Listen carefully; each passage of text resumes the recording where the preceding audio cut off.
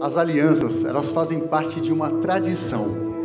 Mas sempre que vocês olharem para esse objeto no dedo de vocês, não lembrem daquilo que está gravado, mas sim aquilo que o amor gravou dentro do coração de vocês.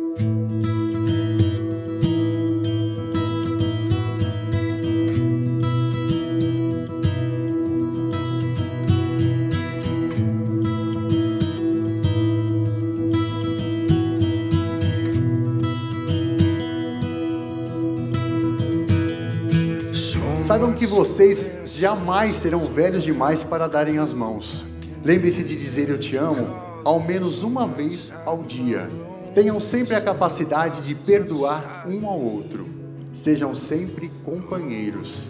Sejam sempre exemplo de amor para as pessoas. So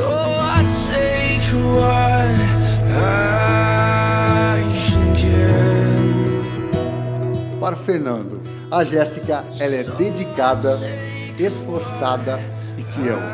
O Fernando, para Jéssica, dedicado, carinhoso e possui um grande coração.